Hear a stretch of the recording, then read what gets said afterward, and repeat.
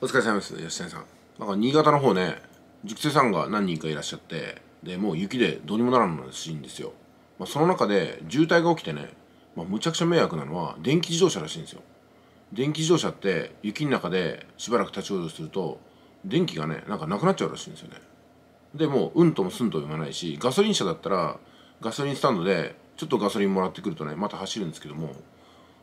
なんかバッテリーが上がっちゃうとなんか車が動かないばかりか暖房も効かないんでなんか投資するんじゃないかって言われて近所の人が出てきてねなんか暖を取り始めたみたいなことがあるんですけども、まあ、現場ではねそういうことがなんかこう渋滞中に結構起きてるらしいんですよ。ところがですよところがこれ報じられてないらしいんですよ。んでメールでね私はね現場を送ってもらったりとかあの実際に、えー、こう EV 車がね全然止まっちゃいましたって当事者の方とかねもう絶対ガソリン車に戻しますわみたいな感じで来たりとかしてすげえなと思うわけなんですよね。でこれがねなんかねあんまりこう報じられてないらしいんですよ。テレビ見ない見ないんでね知りませんけども。そうなるとやっぱり映像の力って大きくてうんこれを報じちゃうとねその2つぐらい問題があって EV 車がやっぱり売れなくなってくるっていう問題ですよね。でもう一つは EV 車に乗ってるってだけでこう偏見が向けられるってことじゃないかなと思うんですよ。まああのテレビとかで報じられないのはこういったことが EV 車を持ってる人に一方的な偏見が寄せられることを、まあ、防ぐって意味があってほしいなと思うんですけども、まあ、どっちにしてもこの映像にすると多分数字は取れるんでしょうけどもうんなんかね、まあ、トヨタの社長が言ってるようなことがやっぱりまた肯定されてねいやトヨタの社長すごいですよ。水素エンジンですか？日本の雇用を守るためにそのガソリンエンジンと同じ内燃機関で水素エンジンで完成させて CO2 が全く出ないんでこれで文句ないだろうみたいな感じらしいんですよ。で中国とかを中心にしてね EV 車の不具合っていうのが出てきて大量廃棄とかが始まってるらしくってね。うん。でまあドイツでも結局 EV 車一辺倒をやめてガソリン車とあと水素エンジンの車の方を取り入れたらしくってね、うん、まあでも何しろ、まあ、G20 とかで決まったように CO2 削減のために、えー、ガソリン車を規制するっていう流れがあってじゃあ CO2 が出ない水素エンジンはどうなんだって言ったらまたトヨタかみたいな感じでトヨタ潰しをしてるのに全然トヨタが潰れないんでね、うん、なんかこう困ってるらしいですけどね。なんかそう考えていくと、まあ、災害の時にいろいろ分かるものがあるなというところとね。まあ映像の力が大きいなっていうのはその他にもねあの厚生労働大臣が今ねあのもうすげえインタビューに答えててそれ何かっていうとそのいわゆるこの感染症の予防注射あるじゃないですかあれでその薬害問題が出てるのはもう無視できないんで保証しだしたんですよね一人一人。うん、あの注射を打って何か害があった人はあの一人ずつ面倒見ていきたいんでこの前もねお亡くなりになった方に対してもう死亡保険金を、まあ、任意で出してるんですよ。これ法的な拘束力とか何もないんですけども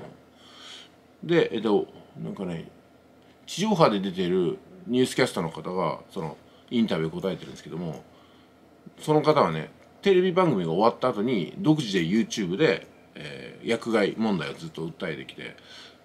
このわけのわかんない予防注射はやるべきじゃないんじゃないかってことで健康被害を持ってる方ずっと取材してたのが溜まってきたんで厚生厚生労働大臣の加藤大臣ですかなんかインタビューやってたらしいんですけどもそれを映像に撮ってこのまたね流してるわけなんですよ。でこれがまたねあのそのニュースキャスターの方が受け持つ番組ではやってくれないというね、うん、まだまだその例の予防接種ですか。予防接種を打つと医師に1本あたり2万とかね流通業者に8万円とかって補助金が入るらしくってそれを使い切るまではこれを放送しないらしいんですけどね。なんか映像の持てる力ってすごい大きいなと思ってて、うん、これをだからやっぱりねなんだ言うても結局テレビを見てる人とかテレビのネタで